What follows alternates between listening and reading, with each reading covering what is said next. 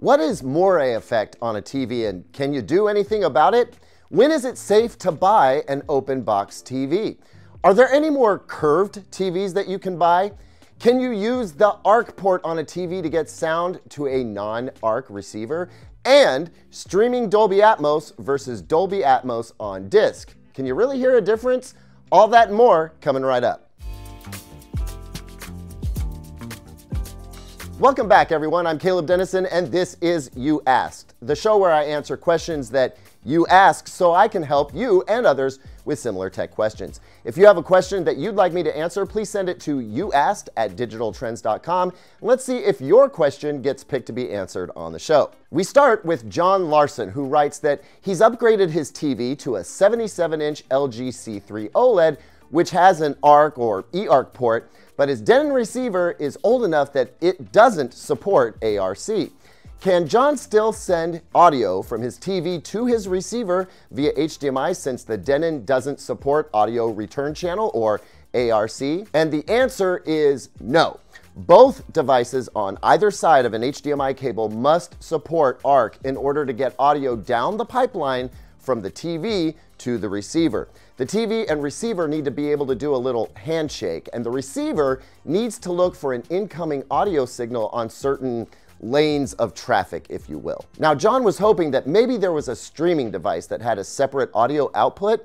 Unfortunately, other than some Blu-ray players, which have dual HDMI outputs, but are also terrible streaming devices, I can't think of a streaming device with a separate audio output other than an old Roku box, which is now over five years old and probably not a good option. So John, as you suspected, running an optical cable from your LG OLED TV to the receiver is your easiest and least expensive option. And running it about 20 feet should be no problem. Volker Uffelman is worried about mounting his new 77-inch G4 OLED TV to the wall using the provided no-gap wall mount that LG includes in the box due to concerns about inadequate ventilation. His concern is that on the long term, heat could be an issue. To that, I say, Volker, LG is smart enough not to promote a wall mount solution that will jeopardize the longevity of the OLED TV. This is not a conspiracy case of planned life shortening for the TV.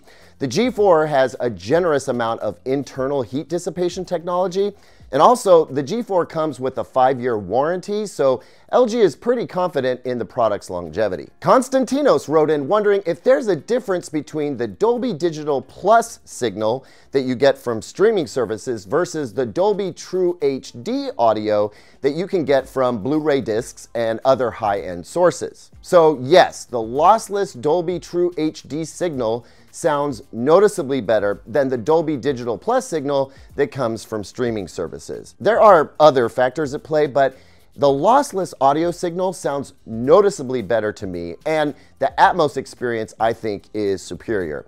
Now that doesn't mean that streaming surround and streaming Atmos is bad, but there's no question that my 4K Blu-ray discs sound significantly better than the streaming version of the same title. Michael Orellana, sorry if I mispronounced that, has been struggling with moire effect for years and is disappointed to find out that his new Samsung S89C OLED TV still produces this effect, albeit probably to a lesser extent than his prior TV.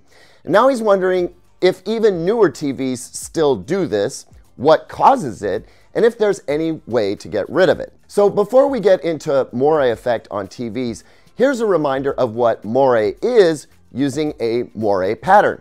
Now, even with this image just sitting still, this pattern may appear to you to have movement or swirls in it. But if we move it around slightly, it is almost certain to cause the image to appear to have movement or weird swirls within it, even though the pattern itself is not changing. Now, if you watching were here with me in person and I were to hold up a moire pattern and the image was perfectly still and you were perfectly still, you might not see the moire effect, but as soon as I started moving the image around or you moved around, you would almost certainly see it. Moire effect on TVs describes an instance in which a pattern on the television and not necessarily a dedicated moire pattern that's designed to trigger this kind of effect, but any pattern with tight, fine lines in very close proximity to each other, like the plaid patterns on a jacket or the intersecting lines on a skyscraper, as seen in this New York flyover scene by uh, Phil Holland.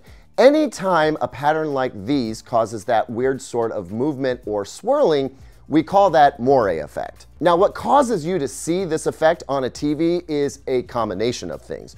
One of those things could be a less than absolutely awesome TV processing in general. And I characterize it this way because, frankly, TV processing is hard enough. But these kind of patterns, they are super hard for a TV's processor to handle well. Only the very best video processors can handle displaying these tight patterns without a noticeable moire effect. I will say though that TVs with poor processing will cause moire effect on images that TVs with decent processing have no problem handling. So there are levels to this, but the super fine, super tight patterns those are hard for even the very best TVs. The other part of this equation, it's actually tied to the processing, but it's like a subset of the issue, is a problem with over sharpening an image, especially with compressed or low resolution content. The more a TV tries super hard to create sharpness, and this is especially true in the absence of good pixel information, the more likely you're going to get some moire effect. Now, you can sometimes reduce moire effect by reducing the sharpness setting on your TV. Some TVs have sharpness settings that are just set too high by default. And frankly, the sharpness setting should have gone away when we got away from CRT TVs, but that's a deep dive we don't have time for in this video. Anyway, you can reduce the sharpness setting and that will help eliminate some moire effect.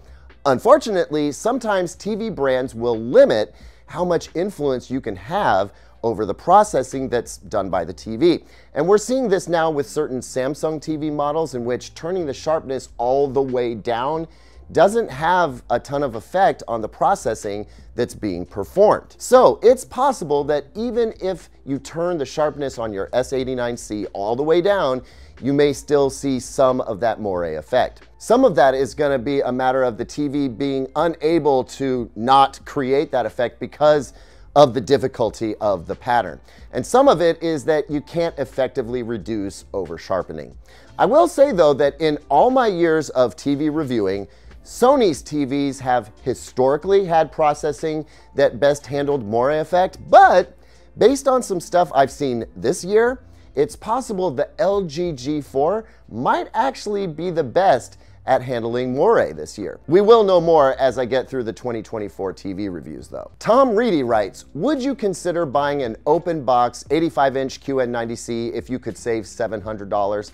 A local chain store has an open box TV marked down to 1,700 versus the regular price of 2,400. What risk should I consider before buying this TV? So Tom, I worked in retail for many years and was once a big fan of the open box buy.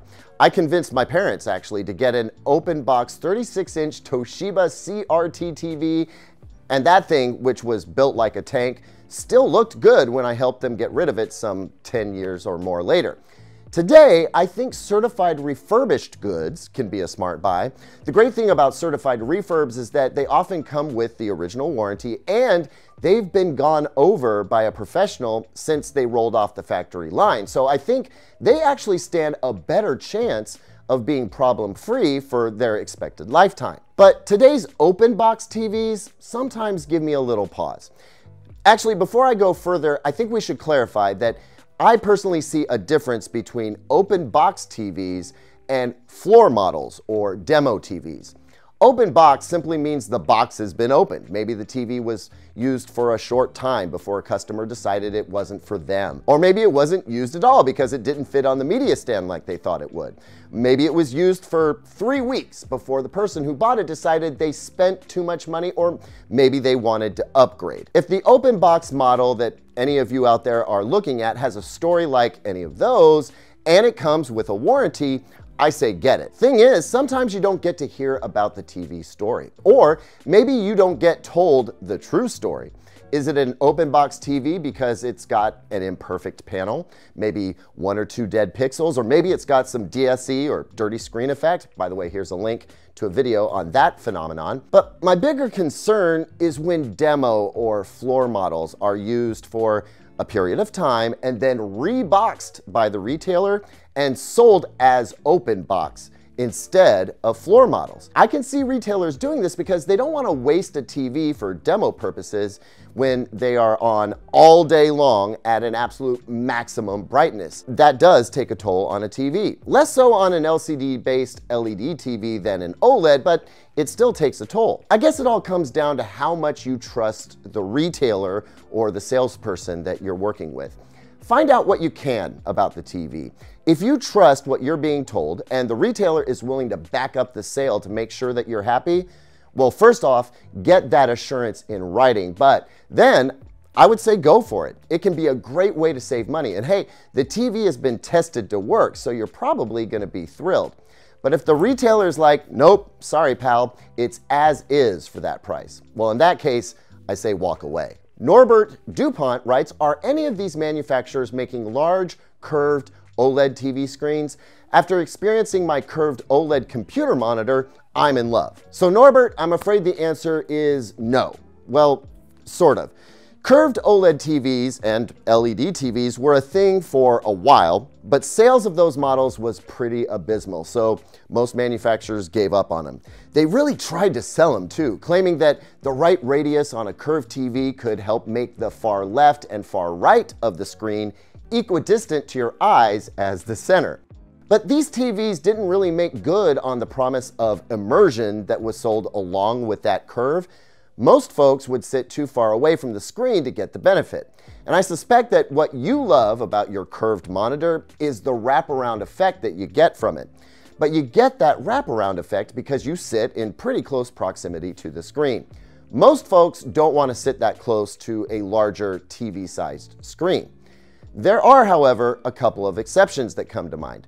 There's the LG OLED Flex, it's a 42-inch OLED TV that doubles as a legit monitor, complete with LED bias lights, and it can be flat or any number of degrees of curved because it's got a motor on it that moves it around. And all of that happens at the push of a button. I loved that thing for the time that I had it, and it was kind of tough to send it back. I suppose if you don't need a really big TV, that product right there would do you right. But if you needed something bigger, there's also the Samsung Odyssey Arc. Now that's not a TV, but it is a 55 inch monitor with built-in speakers. And hey, there are some curved TVs left out there. Samsung has an entry level lineup that includes a curved model, but good luck finding them in a store. That's probably something that you'd need to order online. That's it for this week's You Asked Everyone. Thank you so much for watching. Don't forget to like and subscribe. Leave me a comment down below about what your favorite answer was this week. I'll see you on the next one, and until then, here's two other videos that I think you might like.